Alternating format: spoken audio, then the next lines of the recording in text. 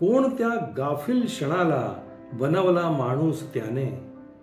कोणत्या गाफिल क्षणाला बनवला माणूस त्याने?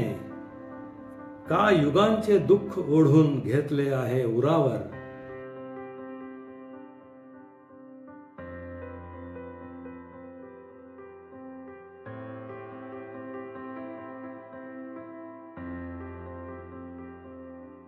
दीवान खास की महफिल में आप सभी खास मेहमानों का फिर एक बार खास इस्तेकबाल, बहुत बहुत स्वागत।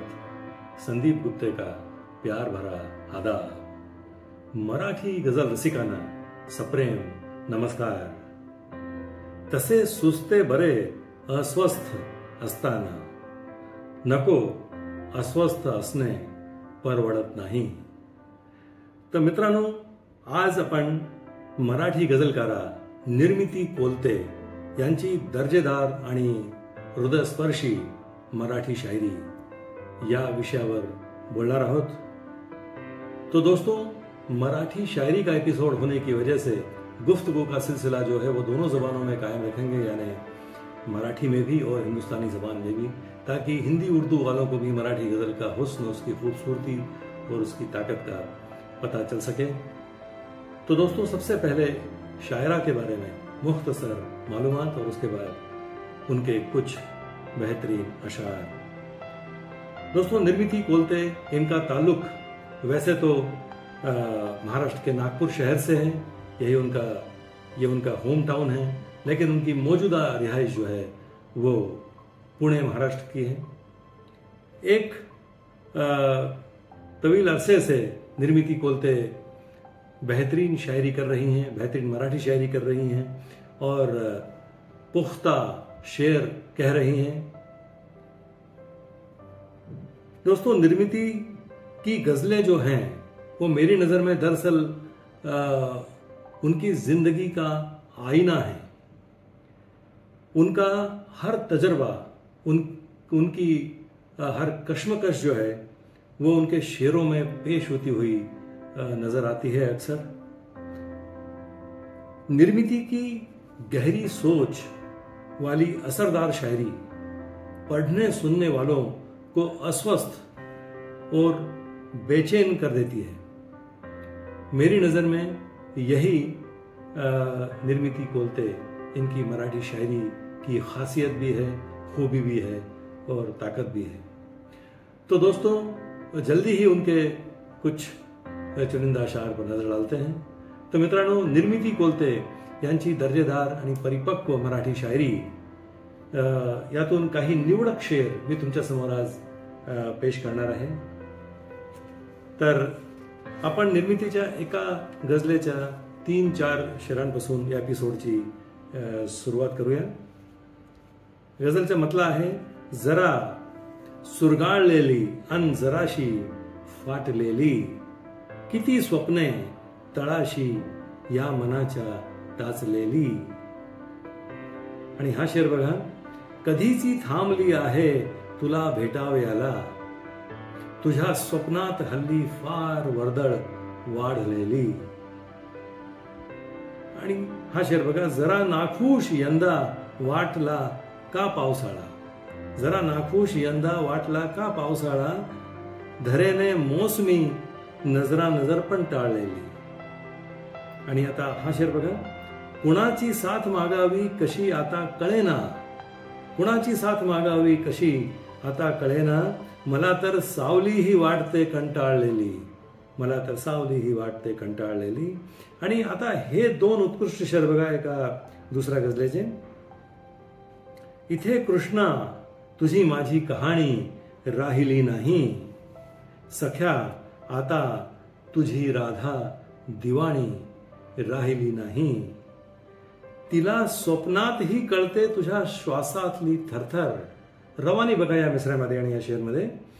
तिला स्वप्नातही कळते तुझ्या श्वासातली थरथर. तुला ती वाटते तितकी अडाणी राहिली नाही. आता निर्मिती कोलते यांचा हा एक उत्कृष्ट शेर बघा. चाहूल कुणाची लागत नाही तरीही, चाहूल कुणाची लागत नाही तरीही दरवाज़ा रात्रंदिवस कर करत असतो. दरवाज़ा रात्रंदिवस कर करत असतो. दोस्तों निर्मिति का अगला शेर पेश करने से पहले मुझे परवीन शाकिर का एक शेर याद आता है। मैं सच कहूँगी मगर फिर भी हार जाऊँगी। वो झूठ बोलेगा और लाजवाब कर देगा। तो दोस्तों, इस मफहूम को निर्मिति कोलते ने अपने शेर में कितनी खूबसूरती से पेश किया है, वो शेर देखिए।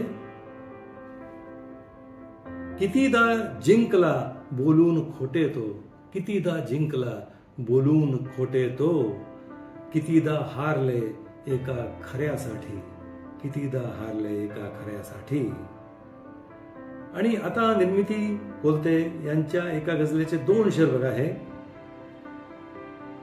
फसवून घेते मी स्वतःला. फसवून घेते मी स्वतःला. मला फसवणे सोपे नाही. आभाळाला हात टेकता. आभाळाला हात टेकता पाय रोवणे सोपे नाही. पाय रोवणे सोपे नाही. आणि या पुढच्या शेरामध्ये एक जेस्चर किती सुंदररित्या निर्मितीने मांडला आहे ते बघा. पाहुणा आहे घरी अंधार जर. पाहुणा आहे घरी अंधार जर. मंद थोडी वात केली पाहिजे. मंद थोडी वात केली पाहिजे. आणि हा एक शेर बघा. घे मिठी मारून त्याला एक दातू. घे मिठी मारून त्याला एक दातू.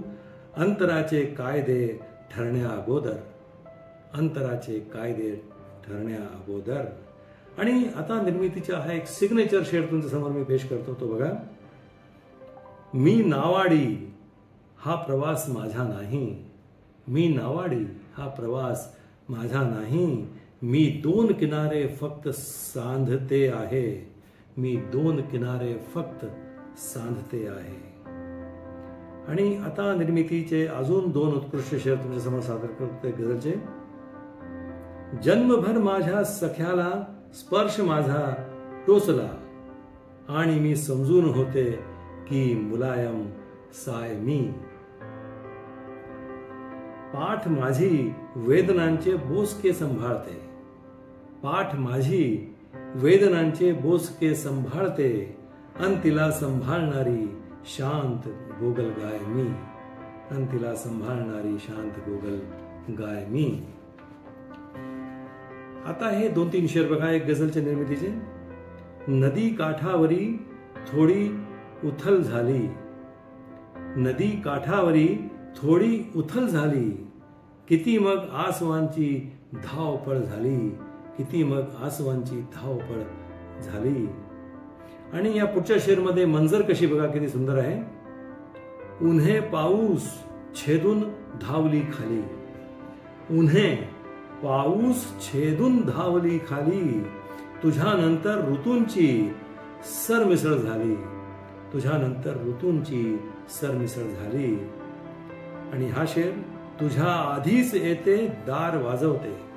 तुझ्या आधीच येते दार वाजवते. तुझी का सावली इतकी चपळ झाली? तुझी का सावली इतकी चपळ झाली? आणि आता एक गझलचे हे अजून दोन शेर बघा निर्मितीचे. प्रेम केले एवढा तर मान देऊ. प्रेम केले एवढा तर मान देऊ. आपल्या गोष्टीस शेवट छान देऊ. आपल्या गोष्टीस शेवट छान देऊ. ही दिव्यांची रोषणाई बंद पाडू.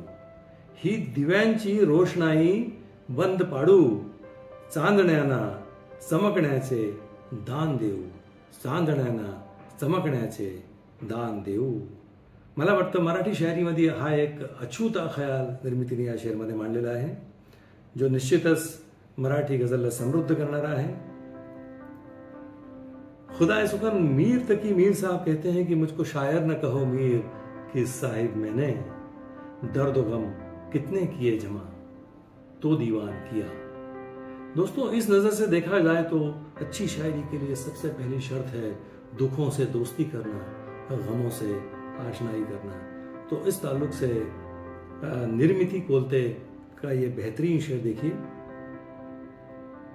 दुःख आहे एवढे, तर मग लिहिना दुःख आहे एवढे, तर मग लिहिना आणखी मी कोणते सामान देऊ? आणखी मी कोणते सामान देऊ.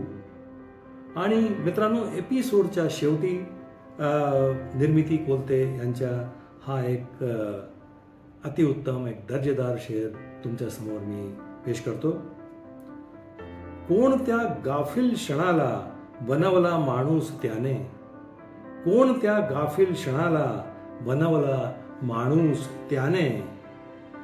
का युगांचे दुःख ओढून घेतले आहे उरावर? का युगांचे दुःख ओढून घेतले आहे उरावर. तर मित्रांनो, हे होते काही निवडक शेर निर्मिती कोलते यांचे. तो दोस्तों, मुझे उम्मीद है, मराठी गजलकारा निर्मिति कोलते. इनके चुनिंदा शाह जो मैंने आपके सामने पेश किए, आपको ज़रूर पसंद आए होंगे। तो अगली मर्तबा, किसी और शायर या शायरा का कलाम लेकर मैं आपके सामने फिर हाजिर होता हूँ। तब तक इस चैनल को सब्सक्राइब कीजिए और हमसे जुड़े रहिए। बहुत बहुत शुक्रिया।